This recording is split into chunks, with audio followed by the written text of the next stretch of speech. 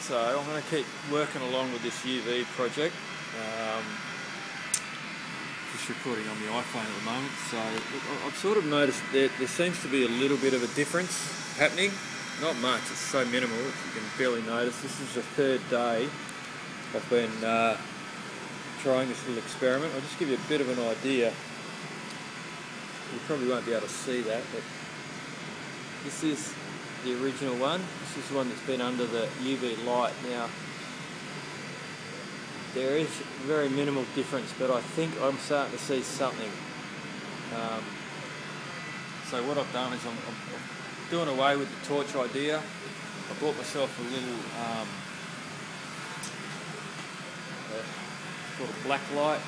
Apparently that's a UV light, um, which is safe to use.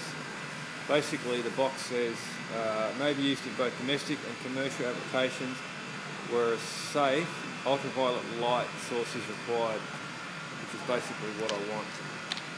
So I've got my little lampshade here. You can see the, the black globe in there. If I just switch that on,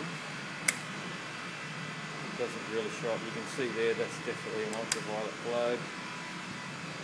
I'm going to um, got me a little template there. So basically what I'm going to do is I'm just going to sit that on the top of the lampshade. So like that, like so.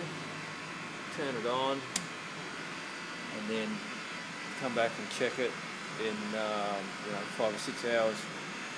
So I'll uh, post some pictures on the website and um, hopefully with this method, we're going to see some uh, faster and more um, accentuated results.